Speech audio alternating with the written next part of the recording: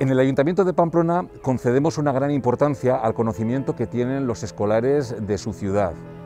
Por eso hemos presentado los materiales didácticos revisados del programa educativo municipal Conozcamos Pamplona y sus ciudades hermanas.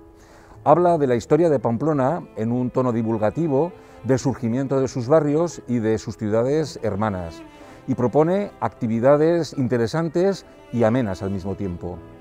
Está pensado en alumnado de quinto de primaria y por eso a una brevedad y sencillez, pero con rigor histórico y pedagógico. Y os lo cuento desde aquí, que es centro real de la historia de Pamplona, porque en este promontorio se asentó el poblado vascón que con los romanos dio paso a la ciudad de Pompaelo, nuestra Pamplona.